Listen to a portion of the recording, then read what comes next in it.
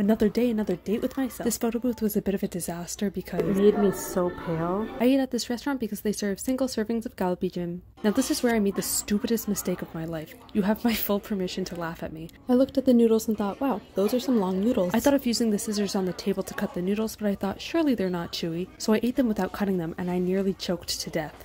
A very valuable lesson was learned this day. I bought some broccoli in this plate and then I did some work. Where's the thing? I don't have It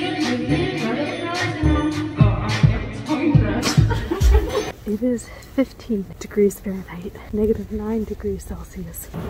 Ooh, a warm potato to soothe my soul. If there's a potato that's gonna be old, it's the potato that you buy at the end of the night.